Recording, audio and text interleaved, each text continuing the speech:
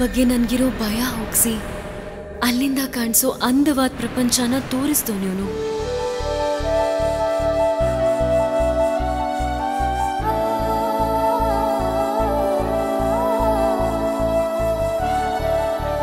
ನನ್ ಬಗ್ಗೆ ನನಗಿಂತ ಹೆಚ್ಚು ಕಾಳಜಿ ಇವನಿಗೆ ಇದೆ.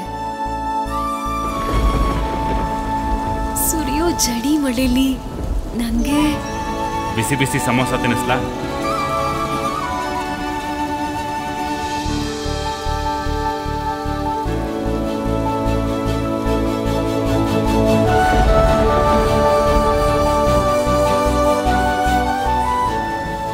ನನ್ ಬದುಕಿಗೆ ನೆಮ್ಮದಿ ಭರವಸೆ ಕೊಟ್ಟ ಅದ್ಭುತ ಗೆಳೆಯ ಇವನು ಯಾವತ್ತಿಗಾದರೂ ನನ್ನ ಪ್ರೀತಿನ ಅರ್ಥ ಮಾಡಿಕೊಂಡು ನನ್ನ ಬಾಳ ಸಂಗಾತಿ ಆಗ್ತಾಳೆ ಪ್ರಾರ್ಥನಾ.